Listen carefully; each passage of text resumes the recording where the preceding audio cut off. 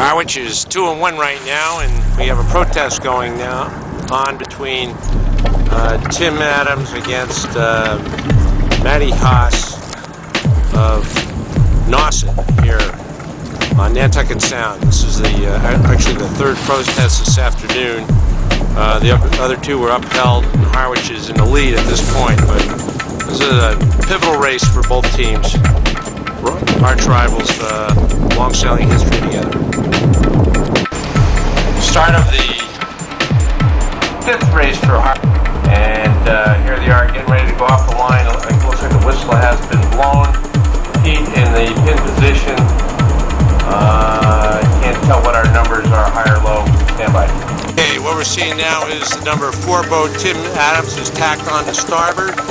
Uh, and he's uh, up above the uh, two Nauset boats and over at the other mark. Looks like Pete is actually doing very well. He's on port, uh, but he is much closer to the pin, which is right here to our right. And he is, he again, he is tacking onto starboard. So we'll have a 1-2 at the pin. This is a uh, race number four uh, being raced here at this time. Uh, here comes the mark rounding. No traps required. Solid 1-2 uh, position for Harwich this time. And here comes Laura on the uh, port tack to the pin. She'll have to dip these boat these boats here. Uh, but right now, solid 1-2. Solid 1-2. Let's see, let's watch Laura. She's coming across on port. She's taking the back of the train here. So should be in the number six slot. Uh, Matty Haas in third position. Neil Drake in fourth position.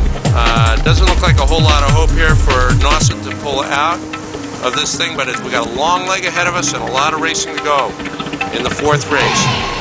This will be the determining one for the Harwich Nauset team. Okay, Harwich with a uh, 1-2-6 after the jibe mark. They're heading down the leeward mark at this time, race four.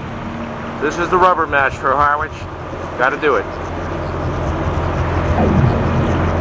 The race committee over here from our left, and jibe mark out by the Saquatucket jetty.